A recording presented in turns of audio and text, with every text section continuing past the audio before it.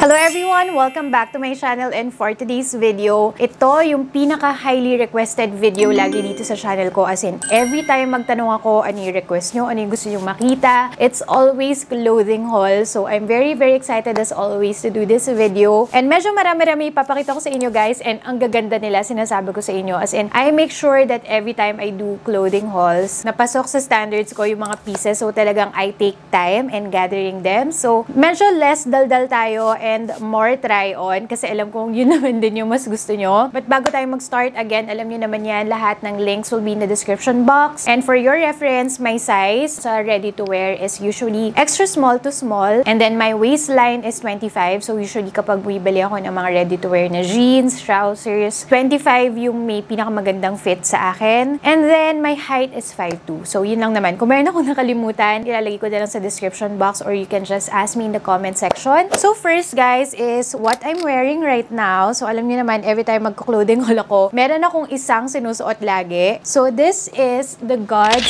favorite shirt. Super love the fit of this one. Kasi naghahanap ako guys yung parang kay Olivia Rodrigo na ganitong shirt. And wala akong mahanap na exactly na ganon na available dito sa atin. And I'm so glad I found a very similar one. Of course, it's not exactly the same. Pero nagustuhan ko yung fabric nito. Tapos ang ganda nung cut ng shirt. As in, flattering siya sa shoulders, sa arms. Hindi siya nakakalaki ng arms. Tapos ang ganda ng pagkaka-crop niya. Hindi siya yung super mahalay na crop. This is something that I can wear kahit may family gathering. Alam mo yung kahit makita kayo ng mga lolo't lola. Ayan. Presentable pa rin siya guys. Next ones, ito napakita ko na to actually sa isa kong haul. But para dun sa mga hindi nakanood nung haul na yon kasi it's not a clothing haul, papakita ko na rin kasi these are really really nice. So ito, halter top siya na cropped and yung crop niya guys is pa letter U or curved. Ganyan siya, hindi siya yung straight lang na cut. So, it really accentuates the waist as in nakaka-sexy siya ng bewang, guys. So, lalo na yung mga balingkinitan, tama ba? Basta yung maliliit yung bewang, sobrang ma-accentuate or ma-emphasize lalo yung bewang nyo. It's really, really nice. Tapos, makapal siya. It's not the type na kita na yung brow mo sa loob, especially the dark colored ones. So, I got it in blush. Meron ako in green. Ang ganda nung pagka-green niya. It's really, really classy. It's something, again, na makikita mo sa Zara. Alam niyo naman, lagi kong linya yan. And that's the goal kapag nagko-clothing haul ako. And I also got it in black. Itong si black, ang dami yung pwedeng paggamitan sa kanya, especially with the cut. Next one is another flattering top. As in, kung titignan nyo lang siya na ganyan, guys, parang okay, simple lang, parang nothing special. Pero, once na finit ko to, guys, as in, na in love ako sa kanya, ang ganda ng fit niya. It hugs the body so beautifully and ang classy nung fit niya. Ang nagustuhan ko sa kanya, hindi siya nakakalaki ng braso. Alam niyo yung, di ba meron tayong parang mga excess fats dito minsan na na-emphasize ng ibang cut ng mga sleeveless tops. But this one, guys, dahil medyo makapal yung sleeve niya, hindi niya na-emphasize yung dito. So, medyo natatago or natitrim niya ng konti yung braso. So, medyo nakakaliit ng braso yung effect niya. So, I really love this. You can pair this with jeans or trousers na black or skirt. Ang dami niyong pwedeng gamitan ito. Or leggings, pwede rin siya. Or pwede niyo siyang ipang loob with black blazer. Ang ganda rin nun. Again, yung goal ko sa mga clothing haul is something na hindi niyo ide-declutter kagad. It's something that will stay in your closet kasi classy pieces sila. Next one is medyo similar dun sa top na pinakita ko kanina but this is much more cropped and medyo loose yung fit niya. So this one, I, I can say na hindi lahat siguro trip yung mga ganitong tops kasi nga medyo mas maikli yung pagka-crop niya compared to usual crop tops and medyo casual siya. Yung pwede mo siyang i-pair with mga baggy jeans or um, ano yung tawag dun sa jeans na yun? Yung maraming bulsa. Basta gets nyo na yon. Alam mo yan, this is something that you can wear if you want really, really comfortable na magre-run kayo ng errands, still you want to look presentable and press ko rin siya at the same time. And ang only downside lang with this guys is medyo crumply or bacony na talaga yung sleeve niya. But for me, it doesn't bother me kasi parang medyo nag-add siya ng style din dun sa top. As in, feeling ko yun talaga yung style niya kasi nga medyo casual talaga yung dating nitong top na to. Next one is one of my favorites as in this is a really, really classy piece and on top of that, sobrang ganda ng fit niya guys. Alam niyo naman, may mahilig ako sa mga knitted, mahilig ako sa halter, tapos mahilig ako sa mga ganitong color combination. This is so classy. Ang gandang i-pair nito with black trousers or dark jeans and then mag-belt kayo na black with gold detail. Tapos partneran nyo ng mga gold accessories. Sobrang classy niya guys. Kasi hindi mo kakalain na nabili mo sa Shopee if you really pair it with good um, bottoms. Pwede siyang pang loob ng blazer, pwedeng top lang as it is, pwede nyo i-dress up, i-dress down. This is something that will live in your closet forever. It's really, really nice. Huwag niyong palampasin to guys. Ang ganda nito. Tapos affordable lang din siya. Next one, I have to be honest, pinag-isipan ko talaga kung isasama ko siya dito sa haul na to. Kasi medyo hindi ako 100% sa kanya. But I think some people would love to see it anyway. So this is a knit na top na v-neck. Tapos ang ganda nung sleeve niya kasi medyo pa-cocoon siya. Tama ba? Cocoon ba yung tawag doon? So ito, I have to be honest. Nung binili ko to sa seller, ang binili ko talaga ng color is parang grayish blue. Pero dumating siya sa akin ganitong color na parang, para siyang royal blue almost. Yun lang, medyo hindi ako na-satisfy doon. And marami pa silang ibang colors. And nung time na binibili ko to guys, sold out yung iba. So wala akong choice kung ano lang yung natirang color yun yung pinili ko just to see if the quality is okay. So ngayon, alam ko meron na silang available ng ibang colors nila like nude, uh, merong black. So I'm really curious if the quality is better with other colors. Kasi for this one, hindi ko masyadong nagustuhan na masyadong nakaganyan yung dulo nitong sleeve and I had to cut some excess na mga threads or tela. Ang nagustuhan ko dito guys is the fit. As in, I can see this so flattering on a lot of body types. Pinakita ko na rin sa inyo pero just being honest, this is not a 10 over 10 quality for me. Okay lang sa inyo yung quality niya but you will love the fit, just showing it anyway. Next one is one of my favorites. As in, ito guys, huwag nyo rin papalampasin kasi ang ganda niya talaga. So ito, para siyang shirt version nung sleeveless na pinakita ko sa inyo kanina. Yung cut niya sa ilalim is parang pa letter U or curve siya. So this one, I can say guys na mas maraming makaka-fit sa kanya na um, body frames. Kasi yung sleeveless kanina, I can say na it will fit siguro from XS lang to small frames. Kasi medyo ano talaga siya, medyo maliit yung top na yon. But with this one, sobrang stretchable niya. Tapos ang ganda nung lapat niya sa shoulders. Tapos pag ganun talaga yung lapat niya sa katawan. So it really gives you that hourglass body shape. Sobrang nakaka-sexy to guys. As in, huwag yung papalampasin to. Again, this is something you can pair with trousers, jeans, basically any bottoms. Ang dami yung mababagayan nito. The best part is really the fit. As in, I assure you guys, ang ganda nung fit nito, lalo na kung again, naghahanap kayo ng ma-accentuate yung bewang nyo. This is it. Next is also a top. So ito naman, mga medyo loose fitting siya guys. So kung meron sa inyo na ayaw nyo yung as in fit na fit na mga tops. This one is a very classy rin. Again, this is something that you would see sa Zara, H&M, Stradivarius, mga ganyan. And it's just very relaxed fit. Alam niyo yung kung magsasamgyupsal kayo, kung mapapakain kayo, ayaw yung babakat yung chan nyo or whatsoever. Gusto nyo komportable kayo habang kumakain, buffet, ganyan, or errands. This is really, really nice. Simple lang siya as in straightforward knitted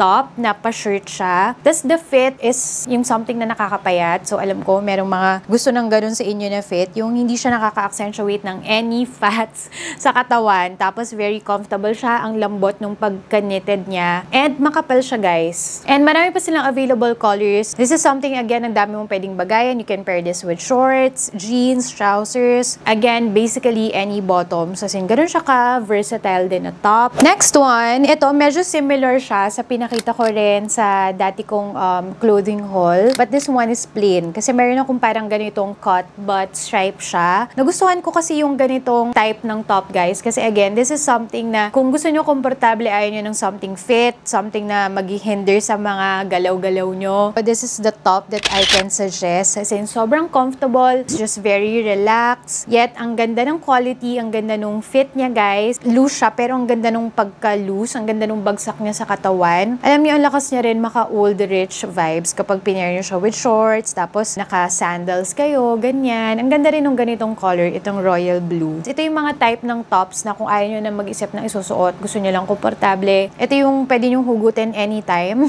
na top. Okay, next pieces are, excited ako dito guys kasi for this haul, ang dami kong mga co-ords. As in, yun actually dapat yung theme ng haul na to. Pero ang dami ko rin kasing magagandang mga nabili na mga tops. So sabi ko, tawag na lang natin clothing haul. But yes, mostly are co-ords. Alam niyo yung kapag ayaw nyo na mag-isip na isusuot, ang dali-dali kasi meron na kayong terno kagad. And for me, ah, yung mga co-ords, it can easily make you look put together, effortlessly chic and classy kapag naka-co-ords. So, ito, nasuot ko na rin to guys, but I think hindi man ako nakapag-post ata nun. So, ang ganda nito. Alam niyo yung kapag na-receive nyo siya, kailangan nyo lang siyang plansyahin muna. Hindi nyo siya kagad ma-appreciate, pero once you wear it, and once you wear it with a good pair of sandals or heels, ang ganda-ganda niya, or partneran nyo rin with chunky na accessories, super nice. So, ito yung top. So, this is a spaghetti strap na parang medyo straight yung neckline niya. So, sa likod, garterized siya. And yung fit niya, guys, is medyo loose. So, dito lang siya fit sa may neckline. Kaya, very flattering siya sa shoulder area. And then, yung bottoms na is just a simple trousers and meron siyang pockets. Super nice ito, guys. As in, this is really classy. Nasuot ko na to sa isang um, fine dining dinner. As in, prepare nyo lang siya with a good pair of shoes, good accessories, a good bag. Hindi na halatang magkano lang siya sa Shopee. As in, it looks really, really classy. I love it. As in, one of my favorite finds din dito sa Coords. Next naman, ang ganda rin ito, guys. As in, nagulat din ako sa quality niya kasi sobrang affordable niya lang. So, these are also Coords, but these are knitted naman. So, ganito yung top niya. As in, parang Korean Coords na knitted top. So, may button siya, tapos pa-V yung neckline. Again, this is something na very H&M, guys. As in, makikita mo to sa H&M. And yung partner niya na trousers is ang ganda. Alam nyo, dito sa mga Coords na ipapakita ko sa inyo, nagugulat talaga ako sa quality, especially the bottoms. As in, yung mga bottoms, pwede ko siyang isuot with other tops. It can stand alone dun sa price na yon pero pair na siya. Sa height ko, itong lahat na ipapakita ko sa inyo mga Coords, as in, surprisingly, saktong-sakto siya sa height ko. Hindi siya super haba, hindi rin siya maikli, hindi siya biten. Next one is also knitted na Coords. Actually, yung dami kong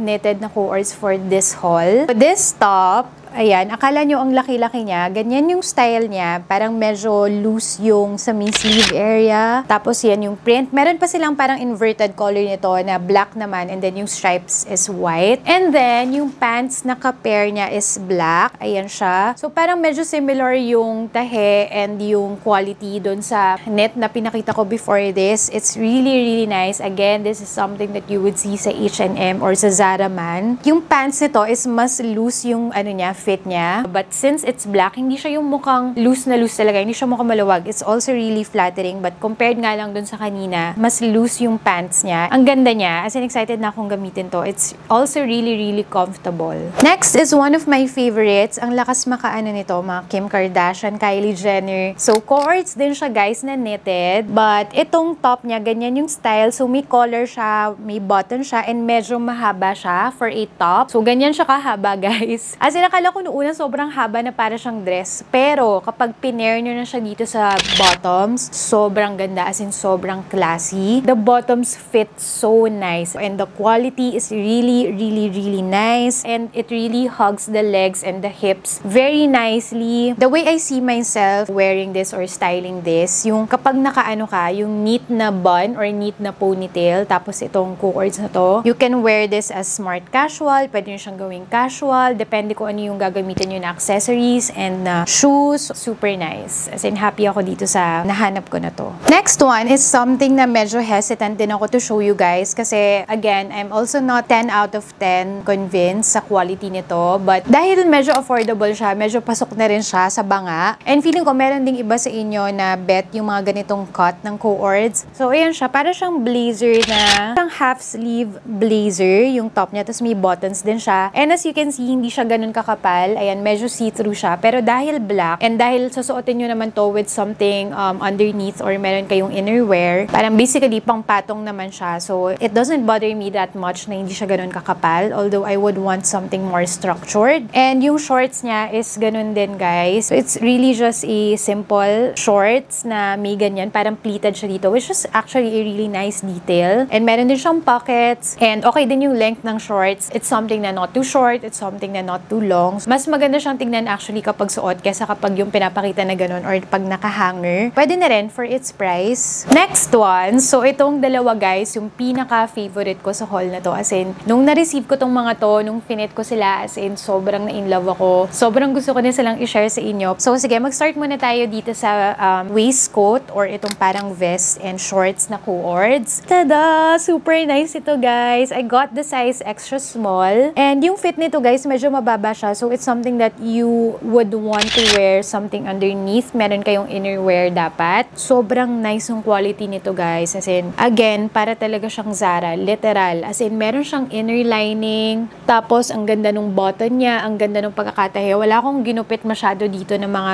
excess na threads. Super nice. And kapag sinukat nyo siya, sobrang classy. Especially the shorts. Ang ganda nung pagkakagawa nitong shorts na to. Like, I would definitely wear this with other tops. Para siyang avocado green. As in, chef's kiss tong piece na to, guys. Kung matagal na kayo naghahanap ng ganito, I know medyo naging trend siya ngayon. But I think this is the type of trend that will last. Existing na naman din talaga to sa fashion world. Fashion world? Medyo ngayon lang ulit siya nagkaroon ng limelight. This is something that will also live in your closet kasi ang ganda-ganda niya. Actually, nasa top 2 to dito sa haul na to for me. You can wear it with sneakers, you can wear it with sandals, or yung mga slip-ons. Effortlessly chic ka dyan sa ano na yan, sa co-ords na yan. Last but not the least, dito sa mga co-ords natin is isa sa top 2 ko. Yeah, silang dalawa yung pinaka-favorite kong find dito sa haul na to. So ito, nung na-receive ko siya guys, akala ko super laki niya sa akin. As in, nasad na ako kasi medyo pricey siya compared sa iba kong co-ords sa pinakita. But I tell you guys, sobrang ganda ng quality. Ito, as in ngayon ko lang sasabihin, sa history ng pag-haul ko ng mga clothes, mas maganda pa yung quality niya than Zara. As in, merong parang ganitong labas si Zara ngayon, mas makapal pa to and mas classy pa yung fit niya, to be honest. So, ganyan siya. Akala ko maluwag siya, guys. Pag titignan niyo siya ng ganyan, akala niyo malaki, maluwag. But when you fit it, the fit is really so classy. As in, pwede niyo nga siyang isuot sa mga semi-formal or smart casual events. And ang ganda nung